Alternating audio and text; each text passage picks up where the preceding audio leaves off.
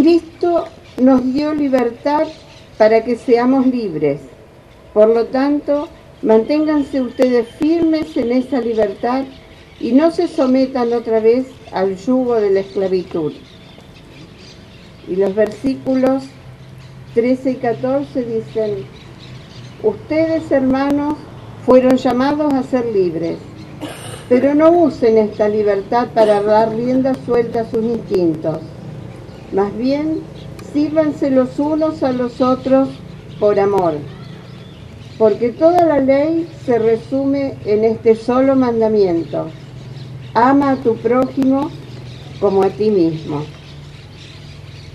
Esta es parte de la carta que el apóstol Pablo escribe a los Gálatas y lo encontramos en el Nuevo Testamento.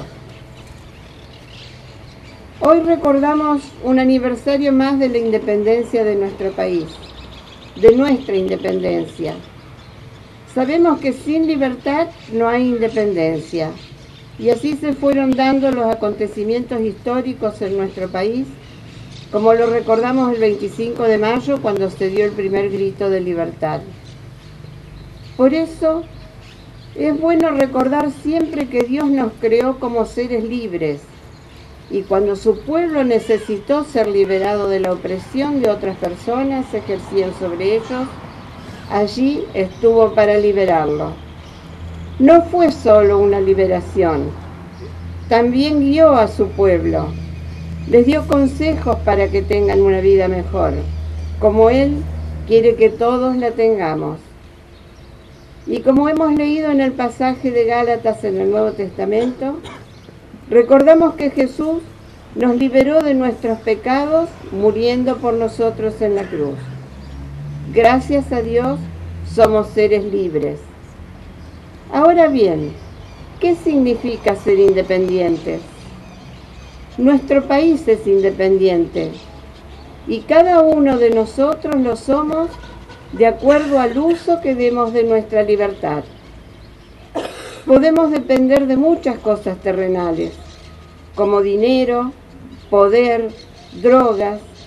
Podemos aferrarnos tanto a una persona que llegamos a depender de ella. Y estas cosas no nos hacen bien. Y nuestra dependencia de Dios, como cristianos, sabemos que no podemos ser independientes de Dios.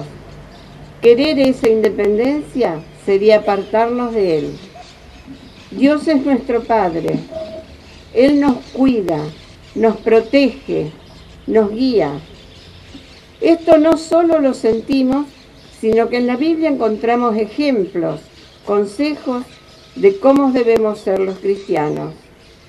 Dios no quiere que usemos mal nuestra libertad.